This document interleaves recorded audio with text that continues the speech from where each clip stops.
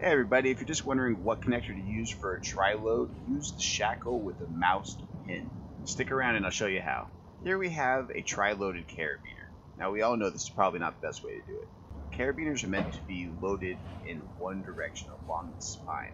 It's super common to see carabiners rigged in this fashion. This configuration can lead to enormous pressure being placed on the carabiner gate which could cause it to pry open.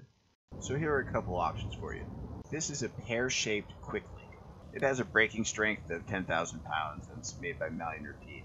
They're a French company that's known worldwide for their quick links. Screw gate like you might imagine, or so you'd imagine. Tighten with a wrench to make it permanent.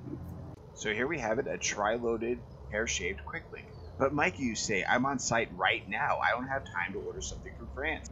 Another super safe option would be a bell-shaped shackle with a mouse pin. The mouse is a zip tie that's placed through the bell of the shackle and through the eye of the bolt, connecting the bolt to the shackle.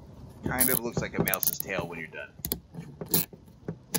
Always a good idea to come back with a pair of snips to clean it up. I like neon zip ties because you can see them from the ground.